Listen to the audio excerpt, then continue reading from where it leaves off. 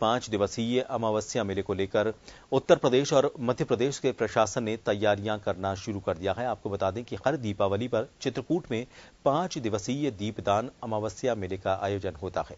इसमें 30 से 40 लाख श्रद्धालु चित्रकूट आते हैं और माँ मंदाकिनी नदी में स्नान कर भगवान कामदगिरी की पूजा अर्चना कर परिक्रमा लगाते हैं।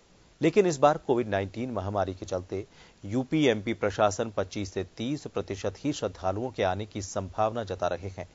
यह अमावस्या मेला धनतेरस से शुरू होकर पाँच दिन तक चलता है। इसमें पाँच से दस लाख तक श्रद्धालुओं के आने की इस बार उम्मीद प्रशासन को है। इसको लेकर चित्रकूट के जिलाधिकारी शेषमणि पांडे और पुलिस अधीक्षक अंकित मित्तल ने मेला स्थल का निरीक्षण किया।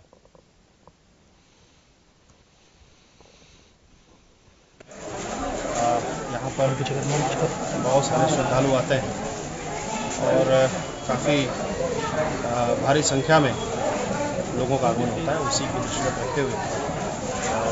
दीपदान मेला की सभी तैयारियाँ समय से पूर्ण हो उसको दृष्टिगत रखते हुए हमारे कप्तान साहब ने किया। है और जो संबंधित अधिकारी हैं, उनको निर्देश दिया है कि